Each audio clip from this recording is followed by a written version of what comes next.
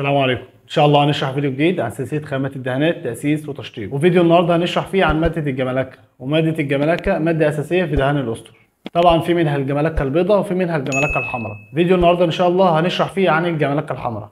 وطبعا زي كل فيديو ببدأ أستخدم المادة وبعد كده ببدأ أشرح. طبعا أول حاجة هنعرفها مع بعض هنا هي شكل الجمالكه تمام؟ ده شكل الجمالكه الحمراء. طبعا زي ما أنتم شايفينها كده. تمام؟ شكلها عامل زي القشر. شايفين شكلها مثلا عامل إزاي؟ أهو. قشر قشر خفيف جدا رفيع. تمام؟ ده بيكون شكل الجمالكه طبعا طبعا بيكون معانا شكل الجمالكه تمام؟ طبعا أنا عندي الجمالكه في منها عندي نوعين تمام؟ الجمالكه اللي أنتوا شايفينها ديت. وفي جمالكه تانية بنسميها الجمالكه البيضاء. تمام؟ ده بيكون رفيعه كده شكل العسلية. تمام؟ وفي نفس لون العسلية. طب ده دي بيكون لها شغل ودي بتكون لها شغل تاني. الجمالكه البيضاء بيكون لها سبيرتو معين اسمه سبيرتو أبيض تمام؟ والجمالكه ديت بيكون لها سبيرتو تمام؟ اللي هو السبيرتو العادي السبيرتو الأحمر تمام؟ دي لها سبيرتو ودي لها سبيرتو تاني. تمام؟ هنبدأ دلوقتي نستخدم الجمالكه وهنشوف شكلها. طبعا دي شكلها قبل التدوير وهنشوف شكلها بعد التدوير. طبعا بيكون معانا السبيرتو تمام؟ زي ما أنتم شايفين كده سبيرتو أحمر. حاول دايما نجيب الشفافية بتاعته تمام؟ اهو شايفين الشفافية بتاعته عاملة إزاي؟ سبيرتو أحمر. نفس الشكل ده كده. اهو طبعا عشان أدور الجملكه معايا بجيب علبة فاضية تمام؟ الازازه بتاعت الطنان واقطع منها جزء كده اللي هو الجزء اللي تحت وأبدأ أستخدمها اللي أنا أحط فيها الجملكة وأحط فيها السبيرتو هنبدا دلوقتي نستخدم الجملكة. تمام؟ أنا معايا الشوية اللي أنا بحطهم دول دول ربع كيلو.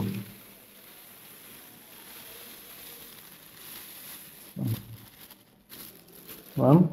زي ما أنتم شايفين. ده كام؟ ربع كيلو.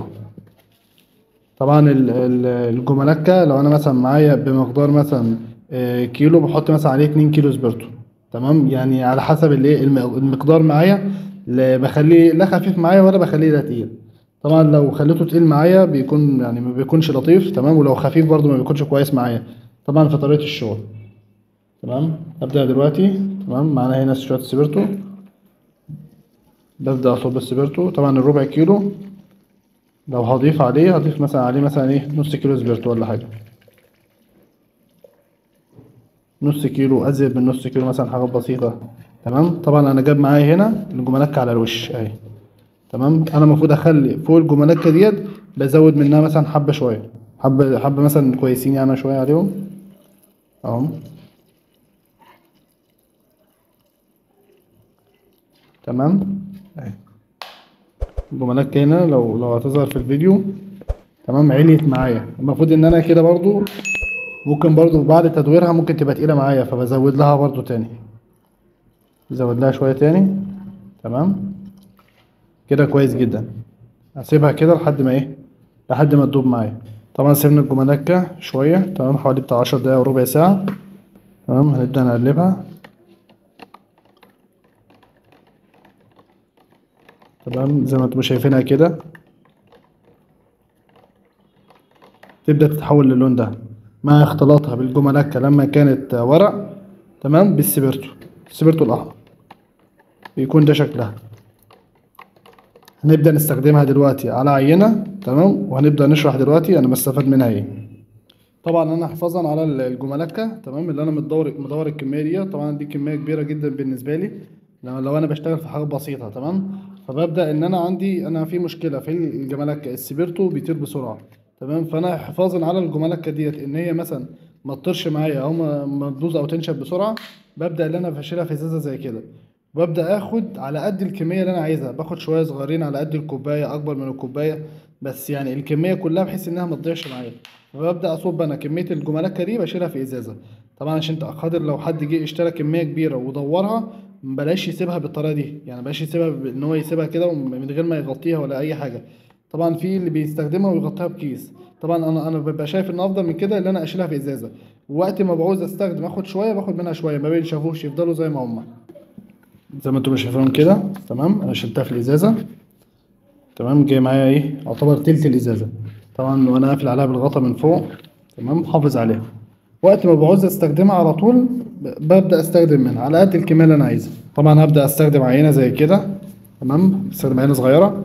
آه، طبعا عشان لما باجي أدي جملكه بديها بحاجتين يا إما بستخدم القطن معايا تمام؟ يا إما بستخدم الرش. تمام؟ في الحالتين ال- الموضوع كويس. بس الفكرة كلها لما بيكون بالقطنة بيكون إيه؟ يعني بيكون أفضل أفضل من الرش. ال- الرش بيهدر معاك جامد تمام؟ هتلاقي الجملكه يعني خلصت معاك بسرعة إلا لو حد فاهم بيعرف يستخدمها إزاي. طبعا أنا عشان خاطر أدي بالقطنة تمام؟ ببدأ إن أنا ألف القطنة لفة كده وأبدأ على حاجة عندي زي ظهر درج أو ظهر الدولاب أو حاجة زي كده حاجة تكون خشنة. وببدا أعمل حاجة اسمها ستوبين تمام؟ ببدأ ألف القطنة لف كده بحيث إن أنا لما أجي أستخدم القطنة ما تبقاش مفرودة معايا. تبقى القطنة مقوره تبقى قطعة واحدة. أبدأ أستخدمها معايا تبقى قطعة واحدة. تمام؟ هلفها دلوقتي ون- ونشوفها ونبدأ نستخدمها إن شاء الله. تمام؟ فببدأ أجيب كده أي حتة خشنة عندي. تمام؟ الحته دي خشنة معايا شوية. ببدا ألف القطنه كده لف تمام؟ ببدا كده هنا ادورها طبعا أنا عايز حتة قطنه صغيرة بس مش هعمل اسطوبين كبير عشان هشتغل يا دوبك إيه على حتة العينة. تمام؟ الناحية التانية. تمام؟ يكون ده الشكل لما بيكور معايا. تمام؟ وأبدأ آخد الإيه الأحرف معايا. أهو آخد الحرف اللي زي كده اهو عشان ما ينتش معايا. تمام؟ في حتة تانية صغيرة؟ باخدها معايا. تمام؟ يبقى الايه القطنة كلها. أهي. ببدأ أستخدم معايا. مفيش هنا قطن إيه؟ ينتش معايا. طبعا إيه؟ بنفس الشكل كده. طبعا ده عشان حتة صغيرة مش باينة. لما بيكون اسطوبين الاسطوبين لما بيكون كبير ولا حاجة بتظهر فيه قوي هبدأ دلوقتي أستخدم ال- الجملكة. تمام؟ أستخدم الاسطوبين الصغير دوت. بغطسه كده في الجملكة. تمام؟ ما باجيش كده وهو خرقان وأبدأ أشتغل بيه. طبعا ده غلط. ببدا كده ان أنا اعصر الاسطوبين معايا من الأطراف بنفس الشكل كده.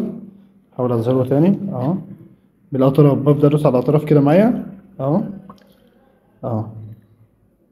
تمام؟ وبخلي القلب إيه؟ القلب مالي معايا سنه تمام؟ ببدأ أجيب كده العينة. أبدأ أشتغل.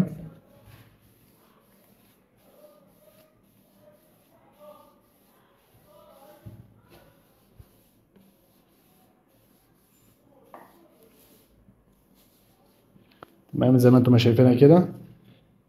اهي بسيبها بسيبها تستنى مثلا دقيقتين ولا حاجة تنشف وبعد كده ببدأ أديلها بستوبين تاني. تمام؟ هي ما بتلحقش أصلا تاخد دقيقتين هي دوبك مثلا في دقيقة أو أقل من دقيقة كمان ال- الجملكة معايا بتنشف بعكس ال sealer. ال sealer ممكن أديله مدة قبل ما ينشف معايا. تمام؟ أبدأ أديله ستوبين تاني. كل ما بدي ستوبين ورا ستوبين ورا ستوبين بيعمل معايا لحمية. هي بتكون الطبقة خفيفة تمام في الأول وبعد كده الطبقة بتبدأ إيه؟ تظهر معايا. طبعا لو اديت جملكة وقعدت أنعم وادي جملكة وقعدت أنعم تمام بيوصل معايا الشغل لمستوى جميل. طبعا ده بي- بيبقى كويس معايا. في شغل لو أنا عندي شغل قديم مثلا زي مطبخ قديم ترابيزة قديمة عاوز أجددها تمام الجملكة دي أفضل حاجة معايا. تمام؟ أهي